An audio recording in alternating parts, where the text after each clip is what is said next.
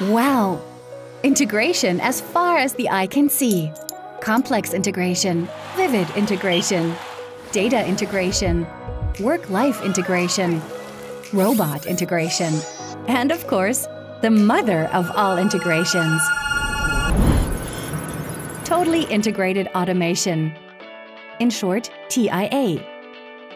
This idea from Siemens, this philosophy, this leading automation concept is alive since 1996. This promise to seamlessly integrate everything with each other. However, a lot has changed and evolved since then. Today, we're talking about integration to the power of three. But what does that mean?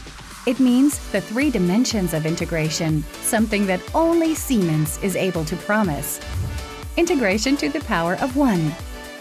TIA seamlessly connects hardware, software, and services. Each individual component and competence harmonize with each other. Integration to the power of two.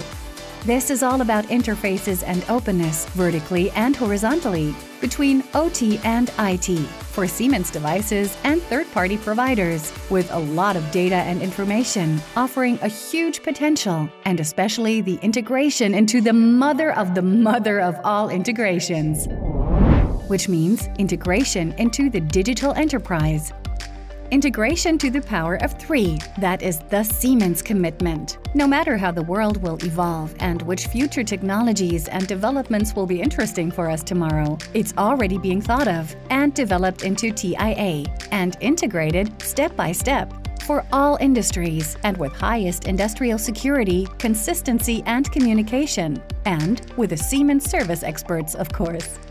Totally integrated automation from Siemens. Integration to the power of three. Siemens. Ingenuity for life.